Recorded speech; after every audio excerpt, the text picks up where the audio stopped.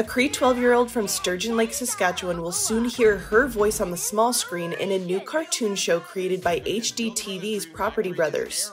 Meadow Kingfisher voices the character of Mel in the cartoon series Builder Brothers Dream Factory. Her name's Mel. She's really cool. She likes to skateboard. She likes to um, draw. She's really creative.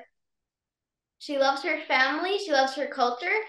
And it's really cool to be playing an Indigenous character because I feel like a lot of Indigenous people will look up to her like I do. The show premieres March 26th on Treehouse and Stack TV.